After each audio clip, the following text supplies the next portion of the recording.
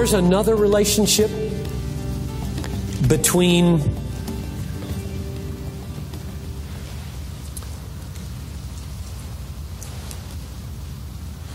God's self exaltation, doing everything for His glory, and our delighting in it. And the connection is that when we delight in it, we magnify it.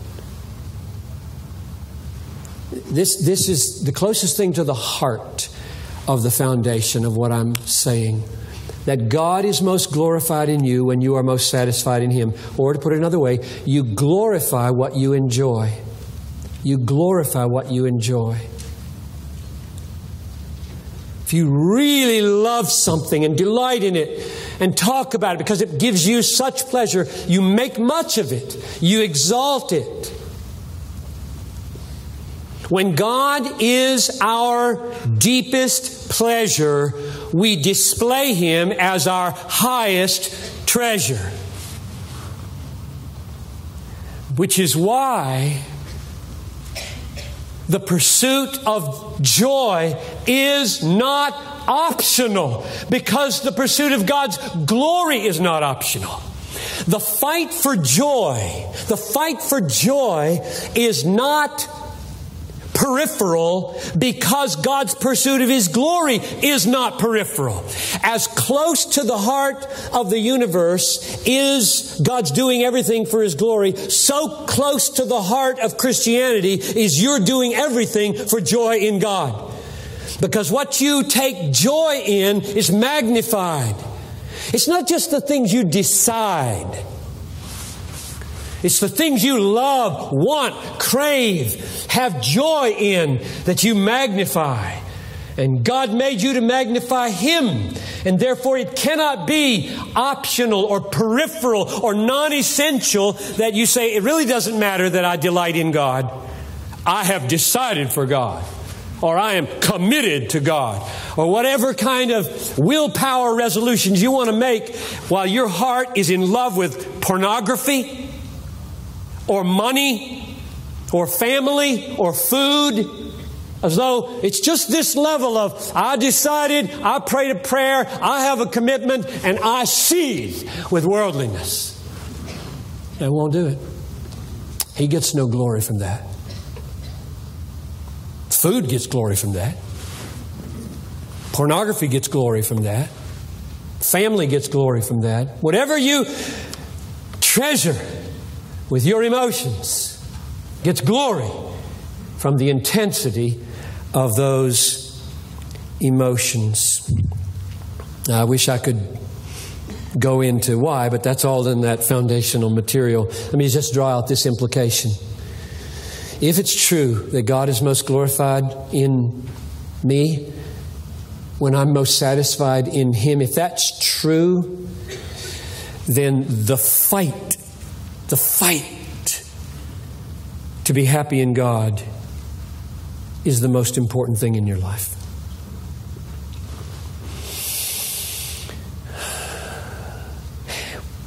How did Jesus describe conversion? The kingdom of heaven is like a treasure hidden in a field, which a man found and covered up. And then in his joy, he goes and sells all that he has and buys that field. I read that text for years without seeing the phrase, in his joy. And every sermon I ever heard on it was, you can have the kingdom, sell what you got, take the kingdom. It was all kind of in terms of decision, resolve, commitment. And that little phrase, in his joy, take my car, take my computer, take my wedding ring, take it. I get the treasure and I can buy it all back someday. In heaven, 100 fold on this earth, and in heaven forever. It, Jesus got really bent out of shape when Peter said, Oh Lord, we've left everything and followed you. Like, what do you mean? You've left everything and followed me? Like, oh, what, uh, what am I? You've left everything and followed me. And he said, Peter, nobody has left mother or father or sister, brother, houses, lands for my sake who won't back, get back in this age a hundredfold and in the age to come eternal life. Get off your self pity kick.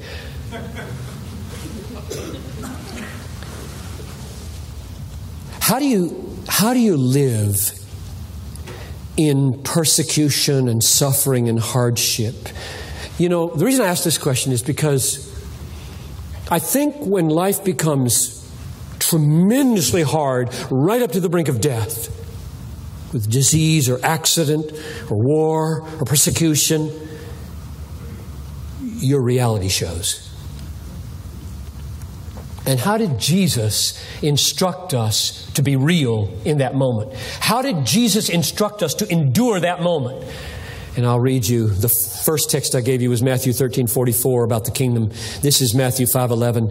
Blessed are you when others revile you and persecute you and utter all kinds of evil against you falsely on my account. Rejoice and be glad for your reward is great in heaven. So how do you, how do you handle suffering? You look through it, beyond it, to what God has promised you is working in and for you, and you rejoice in it, even though tears stream down your face in pain. Why did Jesus teach us so many things about himself and his Father? Here's why. John 15, 11. These things I have spoken to you that my joy may be in you and that your joy may be full. Have you ever thought that the four Gospels are written for your joy? These things I have spoken to you that my joy, I'll tell you, if there's anybody's joy in the universe I would want to have someday, it would be the joy of the omnipotently emotional Son of God who sees his Father and responds like 10,000 sights of the supernova or the Grand Canyon. I would like it very much if the energy and the purity and the delight of the Son of God could become mine. And he said, I have spoken these things to you that my joy may be in you and your joy may be explosively full. Partly in this life. Oh, I'm no perfectionist, believe me. Partly in this life, but someday and very soon, sooner than you think, in the age to come. And so there are commands everywhere. I'm just underlining how essential the fight for joy is. There are commands everywhere. Make a joyful noise to the Lord, all the earth. Serve the Lord with gladness. I just, sometimes I just get so amazed. Um, people will say, I don't think you should be talking about the pursuit of joy. I think you should be talking about serving Jesus and obeying Jesus. This, is, this joy stuff is just. I Say, what Bible do you read? Serve the Lord with gladness. Serve the Lord with gladness. This is not rocket science. This is clear. Serve the Lord with gladness. There is a kind of service he doesn't like. Murmuring service, bored service, glum service. Serve the Lord with gladness. This is biblical. Are we a biblical people or just get our truths from our emotions or non emotions. Psalm 32:11 Be glad in the Lord and rejoice, O righteous. Shout for joy, all you upright in heart. Psalm 37 4 Delight yourself in the Lord, and he will give you the desires of your heart. That's a command, not a suggestion. Like, if you don't want to delight in me, that's okay. Go ahead with your house, you know, or whatever. It's not, a, it's not an option, it's a command. Philippians 4 4, rejoice in the Lord always. And again, I will say rejoice. And he was writing from prison. And I want to underline and make sure I underline that you hear me say, Paul when he writes like that, rejoice in the Lord always, and again I say rejoice, this man knew more suffering than all of you combined, probably. You read the list, I'll read you one of the lists. 2 Corinthians 6. As servants of God, we commend ourselves in every way by great endurance in afflictions, hardships, calamities, beatings. If you were beaten for Jesus, I would like to know who you are. Come up here and tell me, I was beaten for Jesus, and I will bow down and give thanks for you and your faith. Beatings, calamities, imprisonments, riots, labors, sleepless nights, hunger, through honor and dishonor, through slander and praise. We are treated as impostors and we're true. We're treated as unknown and yet well known. We're treated as dying and behold, we live as punished and yet not killed. And here's the key phrase for me. As sorrowful, yet always rejoicing isn't that amazing? Isn't that amazing? If that weren't in the Bible, I couldn't come to this conference. After that list, and that's the short list, the long one's in chapter 11. That's the short list of his pain. He said, sorrowful, but always rejoicing. I say to the guys over and over again at Desiring God, and I say to the staff at Bethlehem Baptist Church, among the several ways that we can describe the ethos of this ministry and this church, let this be near the top sorrowful, yet always rejoicing. I want you to be able to taste that. I want suffering people to come into this conference and come into our church and come into the door at Desiring God Ministries and feel like these are not chipper people who've never tasted the dark night of the soul, never tasted the loss of a loved one, never tasted the pain of a wayward child. These people are so naive about reality, they just jabber about joy. I don't want that.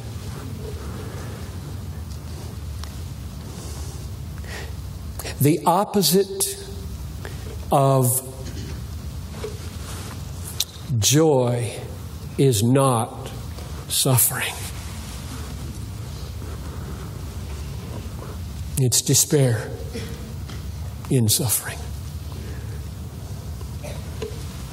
I, uh, near the end of, of chapter one in the book, When I Don't Desire God, which this conference is built on, I have a section entitled This The Aim, meaning the aim of the book, and I would say the aim of this conference. The aim is not to soften cushions, but sustain sacrifice. The reason I care so deeply about your joy in God is first, as I've said, because God is glorified by what you enjoy. And secondly, it is that joy alone which will liberate you and free you to become a person for others. A person of, of love. The fight for joy is not a fight to be comfortable or have security or be prosperous or any other of the American ideals that are advertised to us every day. It is a fight to join Jesus on the Calvary Road. And now some of you know the text I'm about to quote. It's a fight to join Jesus on the Calvary Road. The fight to be happy in God is a fight to join Jesus on the Calvary Road. Hebrews 12 2 looking to Jesus, the author and perfecter of our faith, who for the joy that was set before him stayed on the Calvary road and endured the cross, despising the shame. That's the road I want you on when we're done not a chipper road. It's not a rah rah road. It's not a praise God anyhow road. It's a road of suffering. It's a road of tears. It's a road of empathy with all the dying people that you're aware of and the people whose marriages are, are in trouble, the people whose kids are on drugs. It's the, it's the people you know that are broken in your vicinity. And your joy is going to become a high pressure zone that begins to make wind when it bumps up against low pressure zones of need, and that wind is called love because you're moving. Your joy is moving out. It's spilling over. I, I, have, I have so much in Jesus. No, I may not have a lot of stuff, but oh, I'm brimming with what really counts in life. That I'm going to use my stuff and my time and my energy to, to make your day for Jesus. I want to serve you for Jesus. That's the goal horizontally. And oh, how that will glorify God because Jesus says it does. Let your light so shine before men that they may see your good works. This is the spillover of joy in God, according to 2 Corinthians 8 2. They overflowed in liberality because they were full of joy in grace. So, joy produces that kind of risk taking love, and it is worth the fight. So here's where we are now. We just finished foundations, 45 minutes worth of foundations out of these sessions. And I, I'm going to build now on that. And where we're going is that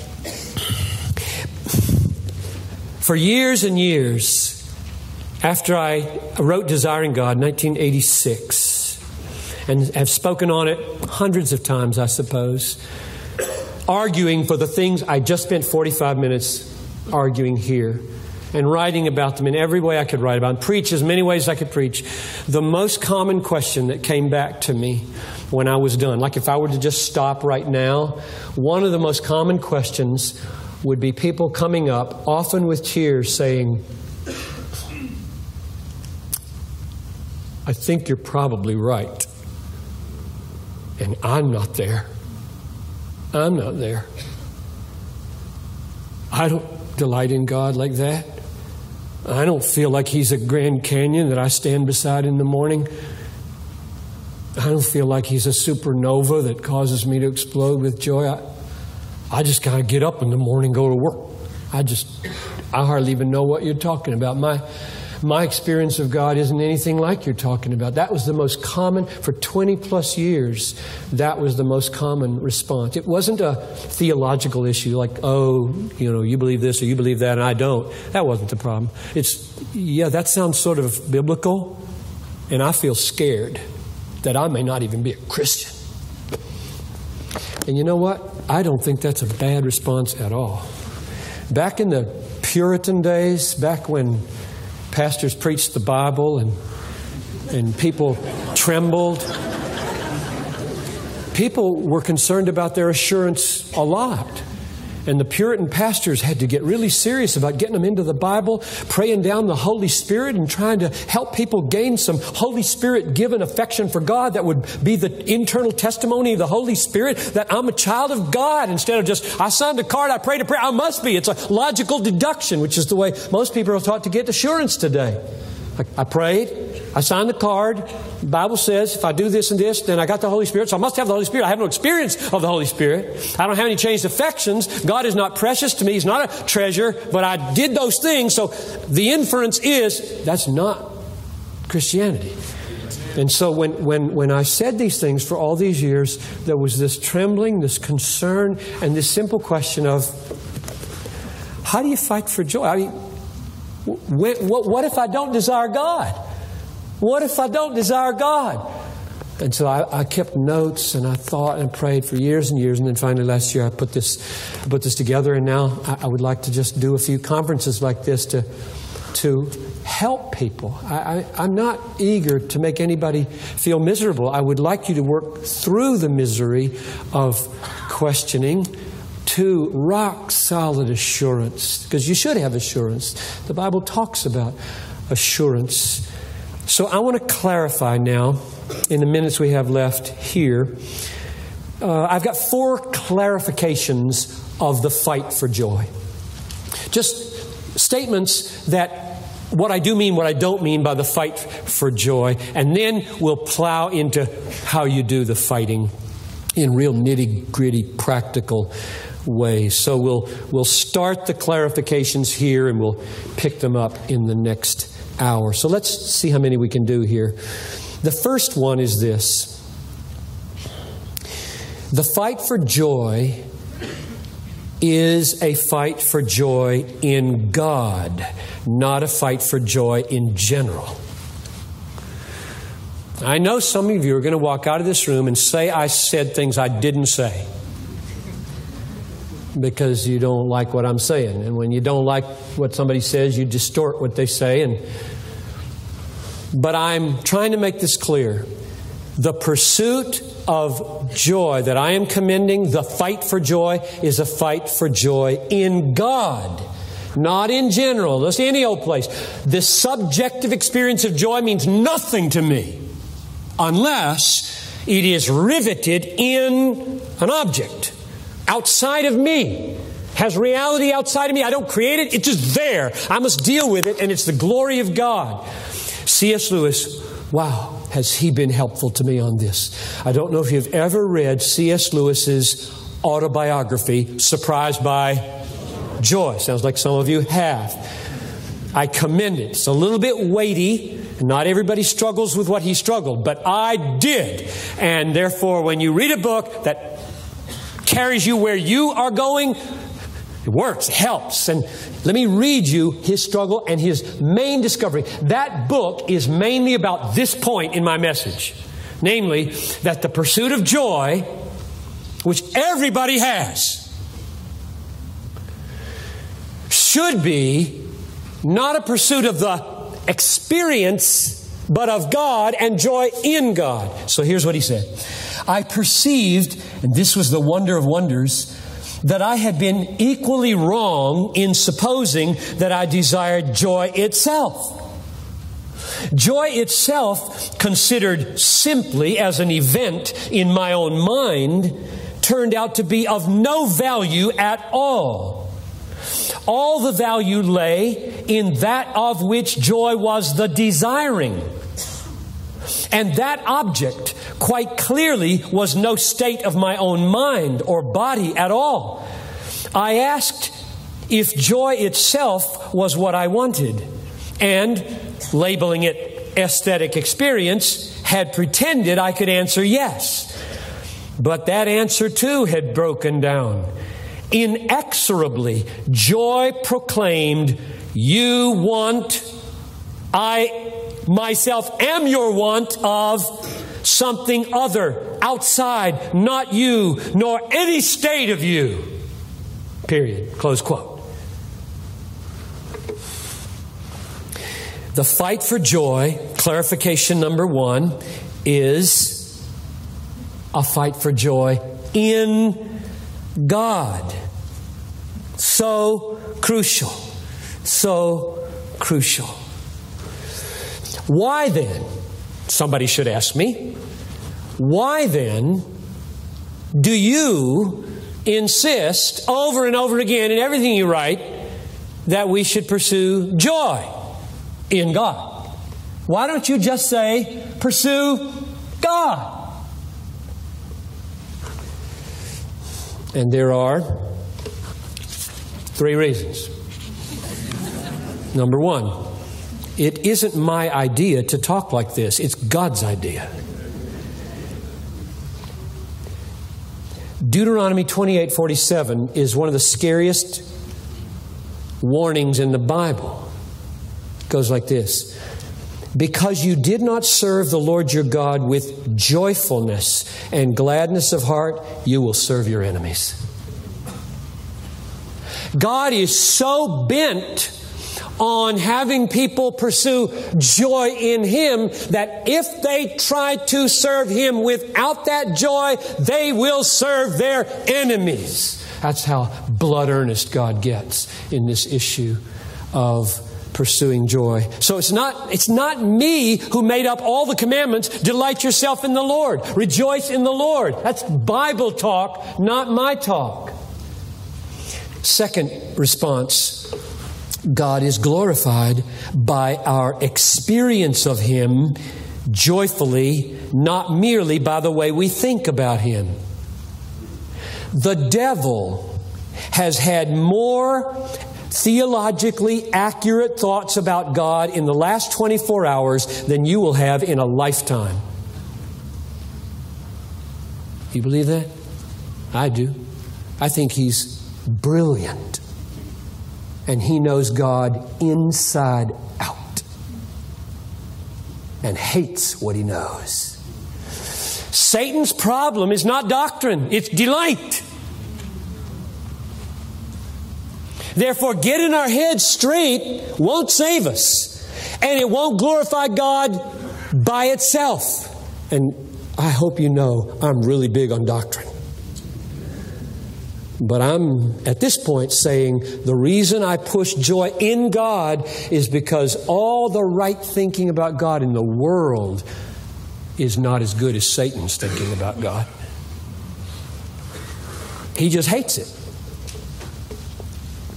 And the third response is people don't awaken to how desperate their condition is before God, usually, I think, until they begin to measure their hearts by the demand for joy in God. A lot of preaching of the law, and I think that's a good thing, deals with the law just at a do level, a deed level. Don't commit adultery, don't lie, don't steal, and doesn't probe the depths of commandment number 10, which is the root of all the others. Thou shalt not desire things in ways you shouldn't. Covet. Desire is the root problem in the law. And so when we preach, not enough people probe people's consciences and hearts as to what do you delight in? What are you going to watch on television when you go home tonight? What is your default activity when there's no pressure on you? What is your heart reflexively drawn to? Those are the things that damn us. Isn't adultery? I mean, good grief, it does not take a lot of willpower to stay out of bed with another woman. But not to have no, to not to have a desire to look at a picture. Desire, that's damning.